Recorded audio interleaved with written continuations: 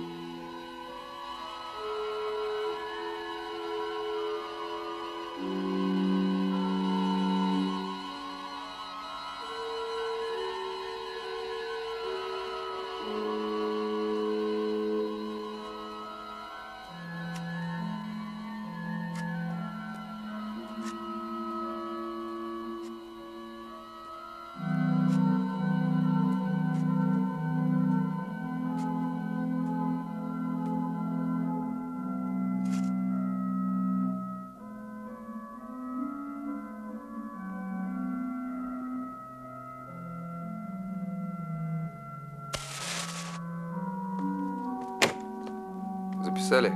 Андрей Светилович, бывший студент Киевского университета. Угу. Бывший. Да-да. Можно ехать. Трогай.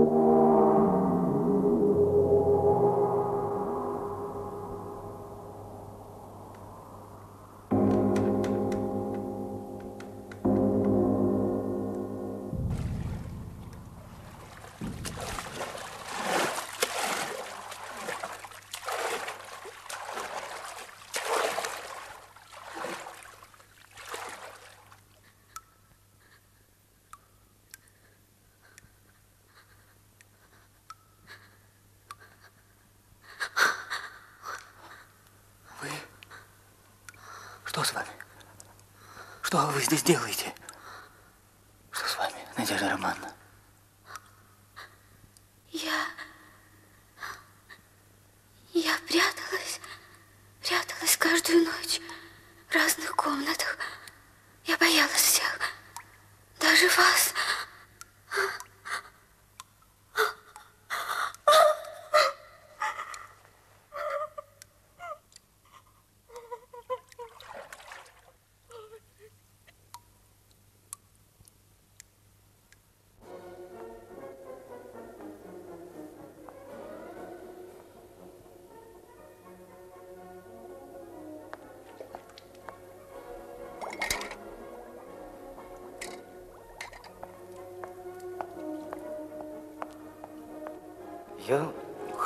Понимаю вас и ваши благородные усилия.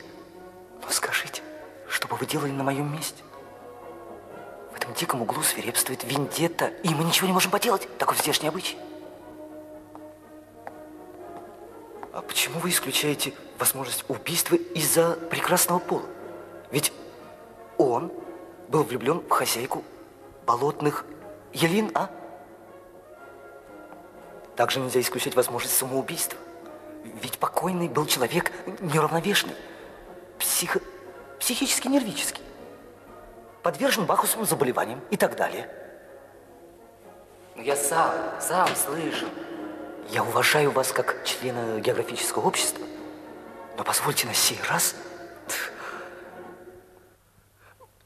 Извините, можно я вам дам один маленький неофициальный совет? Не тросните гусей. Кому-то могут показаться подозрительными ваши отношения с покойным, который, мягко говоря, понимаете, вот. В общем, не хочу наводить тень на плетень, но бросается в глаза упорное стремление ваше отвести следствие от личности убитого на неких мифических оборотней. Только, только прошу на меня, на меня не сердиться. Ваше упорное стремление замять дело выглядит по меньшей мере странным и наталкивает на самые рискованные предположения. Не преувеличивайте. Мне ваша откровенность импонирует. Но при желании ваши слова можно трактовать как оскорбление властей. Боже упаси. Просто это дает мне право обратиться с прошением в вышестоящую инстанцию.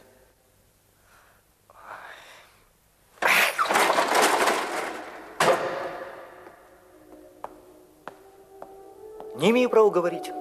Да уж ладно, где наш не пропадал. Мне известно, что начальство располагает документами, говорящими не в вашу пользу.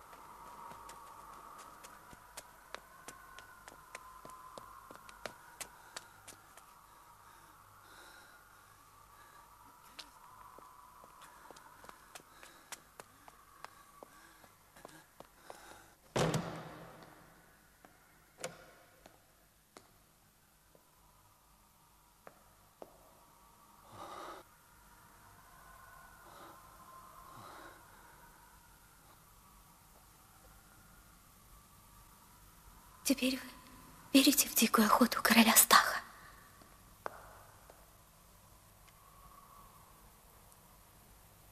Если бы вы знали, сколько крови, убийств, сиротских слез таят в себе эти стены. Неужели вы думаете, что мы, все мы не должны отвечать за это, отвечать страхом, мучением, смертью, наконец? Мы не имеем права на существование. Даже самый совестливый, самый лучший из нас. В наших жилах не голубая, грязная кровь. Вот и все.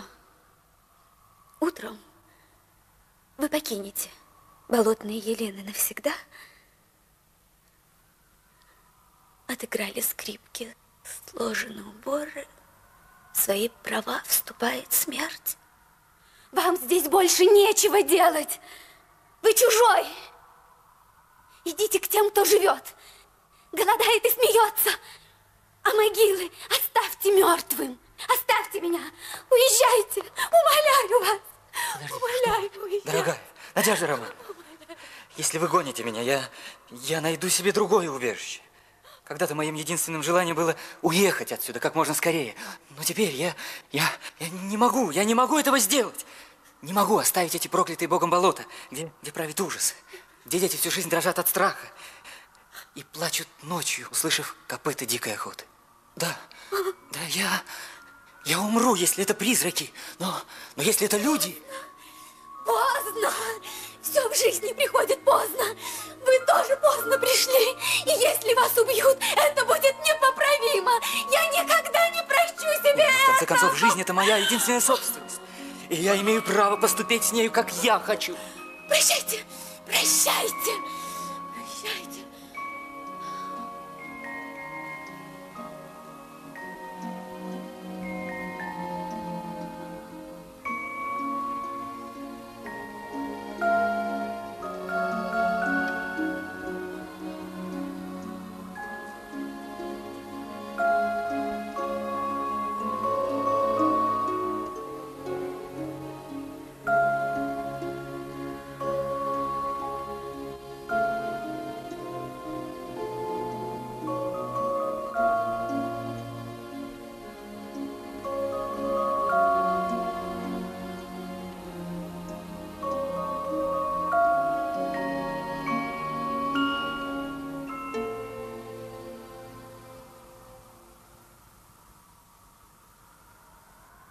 Дворянин я очень хорошо понимаю ваши благородные усилия. Но, увы, в настоящий момент я пока ничем не могу вас утешить. Мне бы не хотелось разочаровывать вас окончательно, но я боюсь, что проведение расследования в этих первобытных местах ни к чему не приведет. Нет, нет, нет. Я не чушь новым веянием, слежу за современной литературой, тоже учился в Петербурге и даже в юности мечтал стать драматическим артистом, чем привел в ужас своих родителей. Но давайте мысленно поменяемся местами. Сядьте в мое кресло, и вы так же, как и я, разведете руками. Не обо всем можно говорить вслух, но в нашем уезде свирепствует настоящая вендетта, а мы ничего не можем поделать. Таков дикий обычай здешних мест. Что же касается дела, то это могло быть убийство из-за ревности. Мотив вам известно лучше, чем мне. А мысль о самоубийстве Светиловича вам не приходила в голову? Ведь он был человеком замкнутым, по-моему, пьющим. Простите, но, но я своими глазами видел. Что? Призраков? Ну, не к лицу уважаемым члену Императорского географического общества при Российской Академии верить. Пардон. Хотите дружеский совет? Не играйте с огнем. Ведь это ваше счастье, что вы попали ко мне, но какой-нибудь чинуша мог подозрительно отнестись э, к вашему знакомству с покойным, который пользовался печальной известностью, как... как... Вы меня понимаете.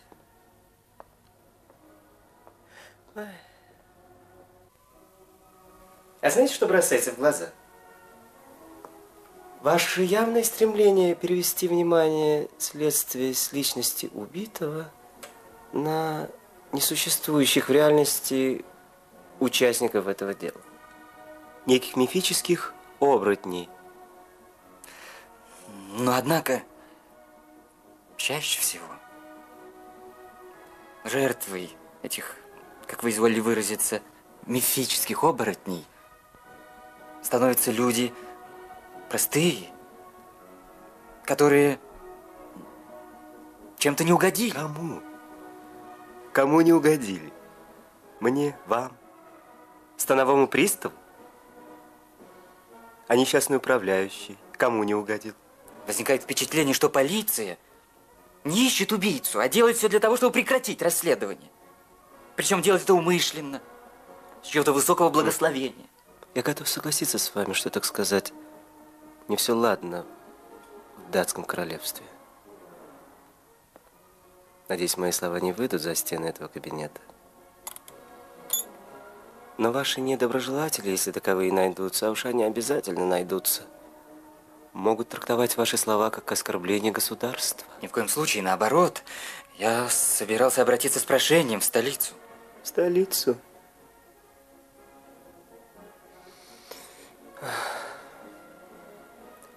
Я должен вас конфиденциально предостеречь.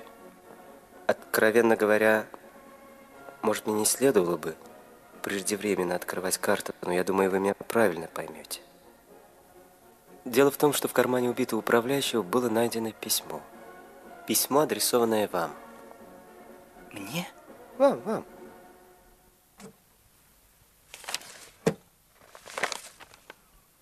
Так.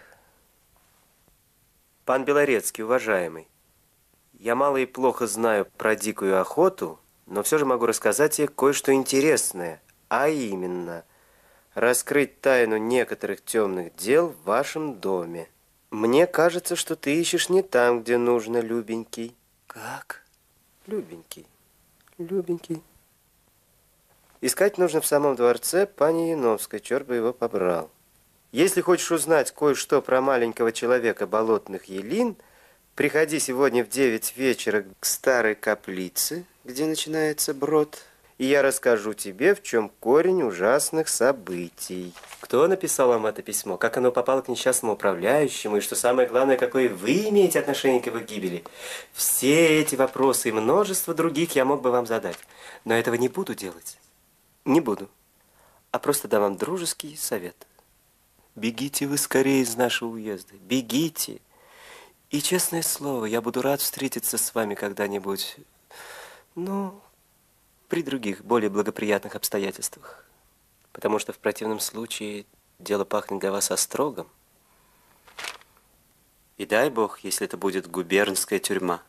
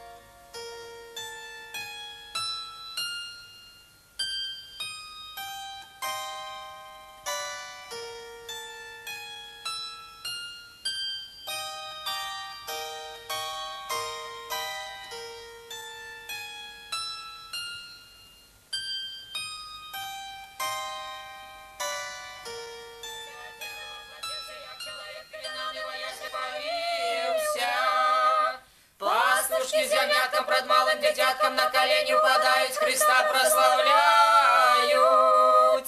И мы тоже спеваем, Христа прославляем. Здрасте, господа! А для кого сей трон сделан? Неужто для меня, грозного короля Стаха? Для вас, для вас, Ваше Величество! А раз так, позвать ко мне смерть. Эх, прошу по мной посторониться, будет король Стах на трон садиться. А теперь вот что. Позови ко мне моего названного брата Романа Яновского. Здравия желаю, батюшка король. Чего вызывал? А вот что, любенький мой, отдай мне в жены свою красавицу-дочь. Никак нет, батюшка король. Она ведь у меня одна. Мне она одна и нужна. Ни за какие ласунки. Так подари мне свой дворец золоченый. И не проси. А рубль мне дашь? Ты гроша медного не стоишь. Тогда отсечь ему голову.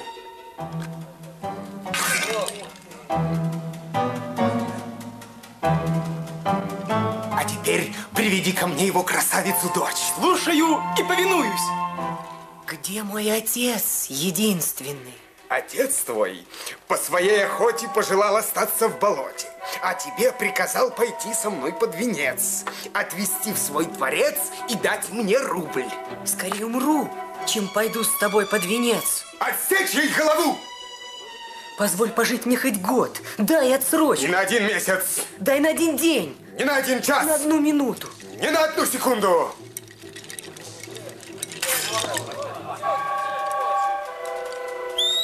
Семен, Ты не летите. я добишь.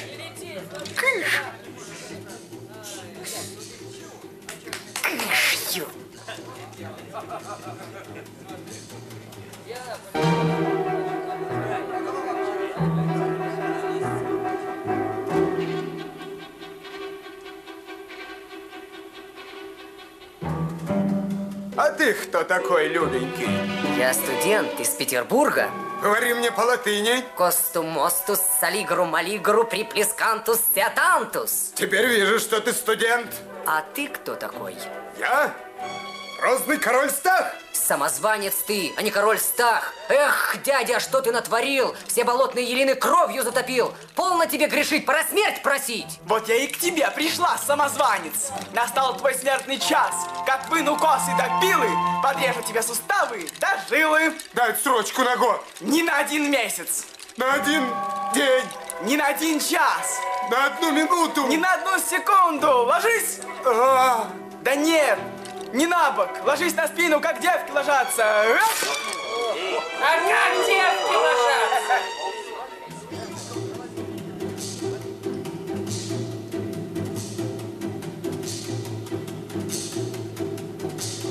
Студент, ты можешь не живых живыми сделать? Могу, если они, конечно, не околели. Тогда оживи Яновского с дочкой. Ай, момент, что у вас болит? Голова. Нужно послать за горелкой. А ну-ка, вставайте! Ох, Ух, ах, легли на шутку, проспали минутку. Спали бы вы целый век, если б не приезжий человек. Человече, бедный, вспомни час последний, ты уже не гордися, не провозносися, осень Батюшки Светы, святые угодники, явился, явился таки блудный сын. За стол его, за стол! Гришка, Антон, так где вы, черти? Зазвал в дом скоморожье семя, так все холопы уши развесили, дурью маются. Гришка, Петрусь, ну чего уставились, черти? Столичного человека не видели. Ну, помогите, помогите гостю. Вот, прошу сюда. Сюда. Это к черту. Штрафную разгонную. Садись.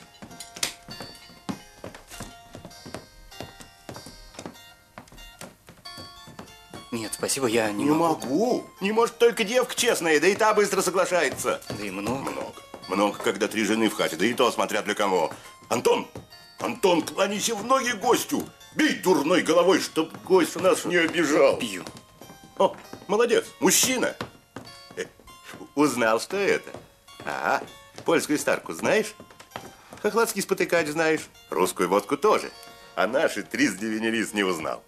Горелка, трижды девять, на 27 травах настояно. Мы ее секрет еще лет сто назад у литовцев выведали. Они-то уж его давно забыли, а мы еще помним. Но ты закусывай, закусывай. О! О! Шинка дикого вепря. Пошел вон! А ну, проваливай отсюда! горит. Лосиные А ну! губы в подслащенном Ну соусе. быстро! Чего ты? И чтобы духа вашего здесь не было, то хуже будет! Не дурни были. Хозяин нашел. Хозяин, пошел вон отсюда! Артисты вонючие! Тьфу ты! Катитесь, пока целы!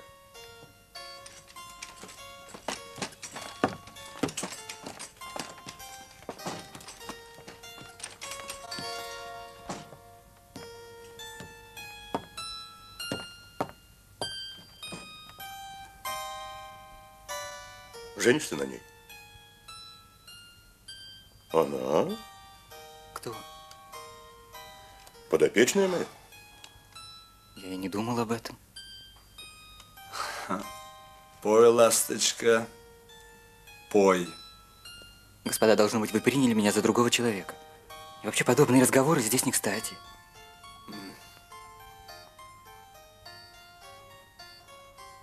Он снова меня получает. Этот кот. Прекратите. Вы оскорбляете не только меня, но и невинную девушку. Паной, паной, успокойтесь. Ворона, ты пьяный. Берегитесь. Однажды я уже спустил вам с рук оскорбления, но больше миндальничать с вами не собираюсь. Ворона, да ты что? Ну, успокойся. Нет, дело серьезное, задета моя честь. Ну, кто теперь придет ко мне в гости, если у меня можно нарваться на такое? Плевать. Ого. Вот тебе и ого. Вот теперь ты будешь драться со мной на саблях. Он со мной будет драться, а мой гость уйдет отсюда целым и невредимым. Ошибаетесь, он первым оскорбил меня, а потом я буду драться с вами. И тогда хоть убейте. Олесь, пошел вон. Не позорь мою хату. Пан Дубатов, не надо. Я нисколько не боюсь этого. Будьте мужественны, и вы. Драться будем сейчас же. Каждому по три пули. Да, и с завязанными глазами.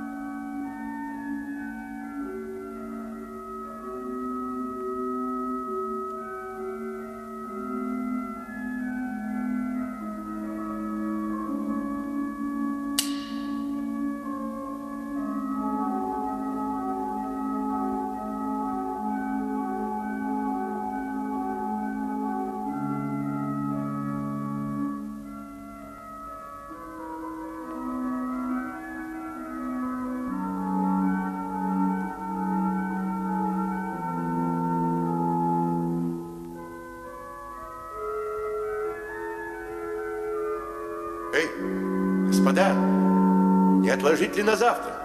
С пьяну хорошо только по воробьям полить.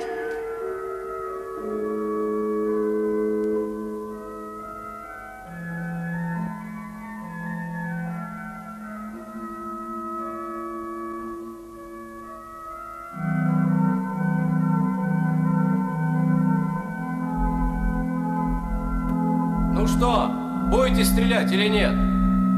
Хватит кашу варить.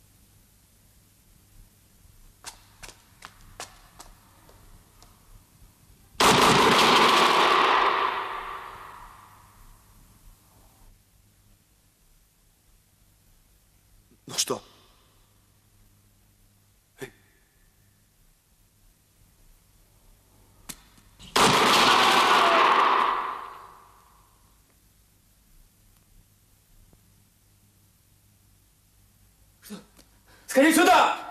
Помогите же! Я, кажется, убил его! Ворон!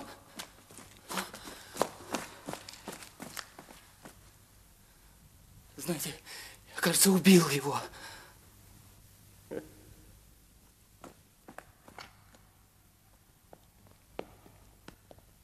Ну чего ты, хлопец? Чего, любенький? Это у тебя от нервов. Ты же его не обижал. Он сам виноват, свинья. Сам полез пьяный дурень. Знаешь, ведь он к ней сватался, а получил гарбуза. Смотри, как тебя корчат. Это все с непривычки. Ну-ну-ну-ну, ведь ты же его не убил, а только оглушил, как бугая на бойне. Ничего, полежит неделю, отлежится. Да дьявол с ним, с вороной. Он заслуживает каторги. Но и нам это чести не делает. Ни тебе, ни мне, ни даже ей, раз уж этот пьяный слезняк трепал ее непорочное имя. Так что, сам понимаешь, надо держать язык зубами и навсегда забыть, что здесь случилось. Я на тебя надеюсь, ты человек благородный.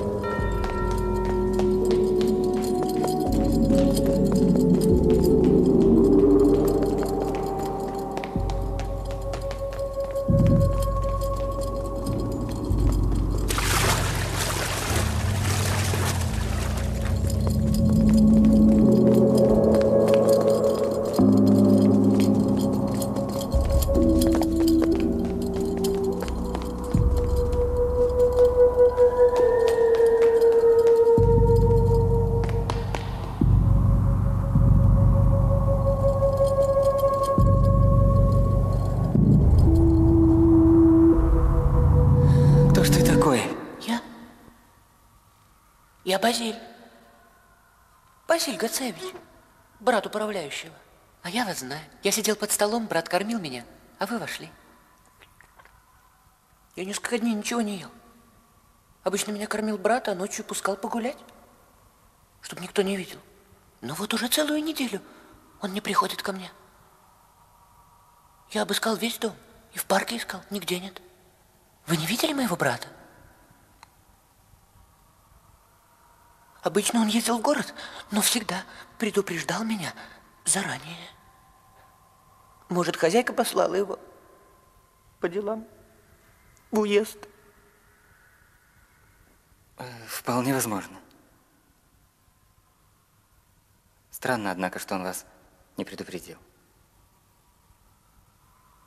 Ну, идемте, я вас накормлю хотя бы.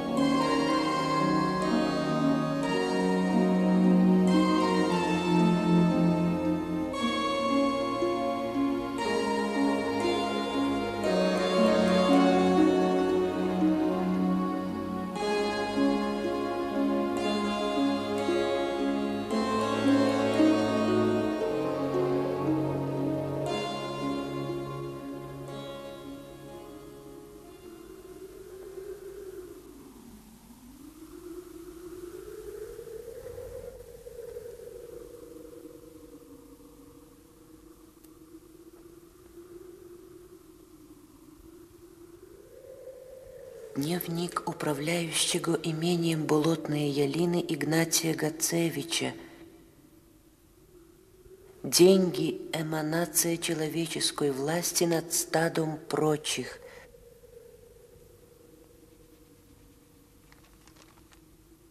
Справедливость не предусмотрена самой природой.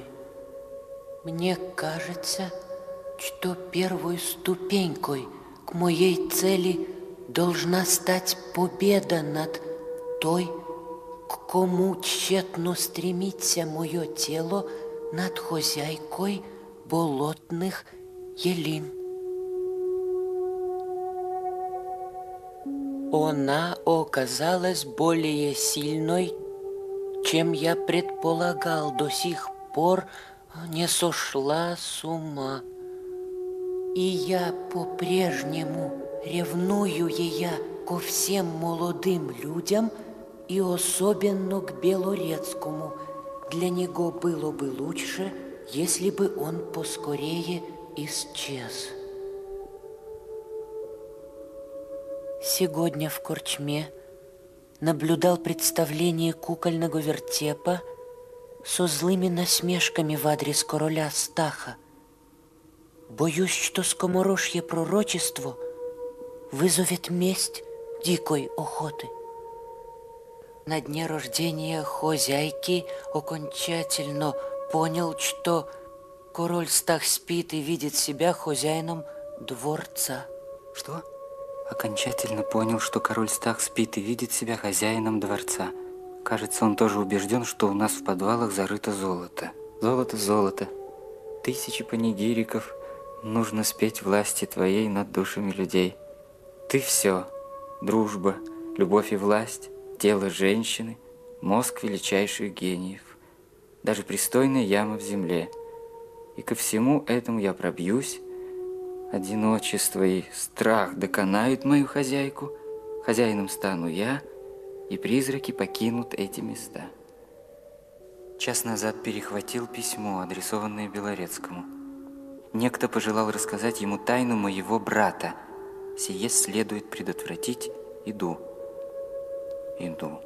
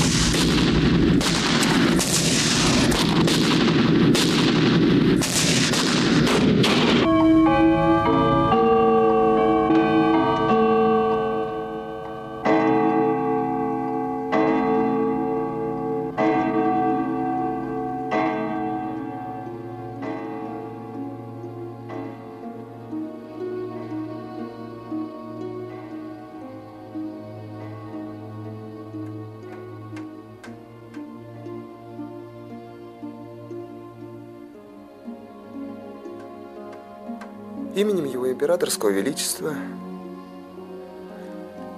вы арестованы за подстрекательство к мятежу.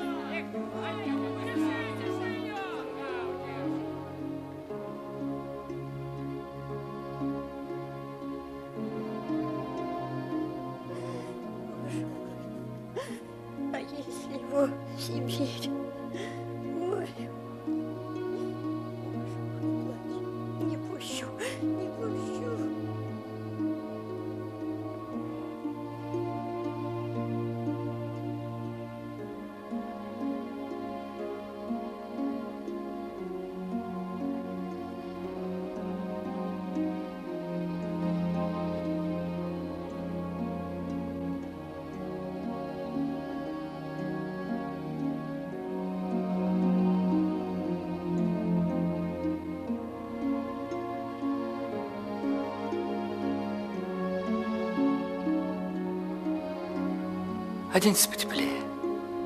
Дорога долгая. Да и в столице пишут газеты невиданные холода.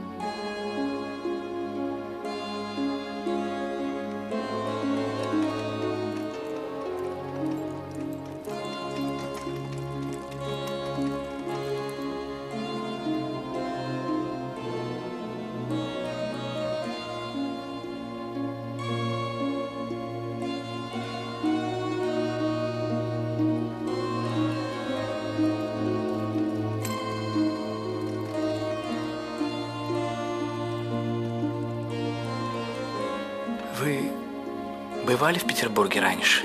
м? Да, я учился там в университете. А я до сих пор еще никогда.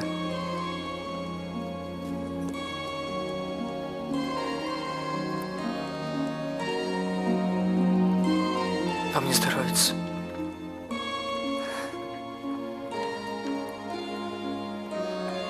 Нет, все в порядке.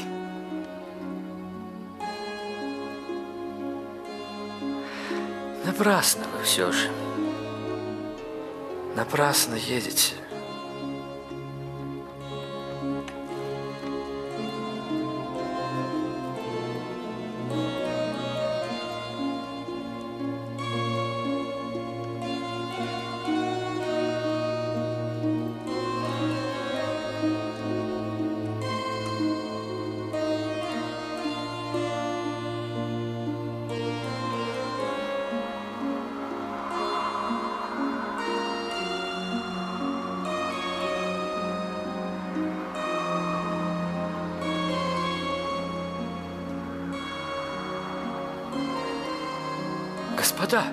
Господа, а вы знаете, что сегодня первый день 20 века?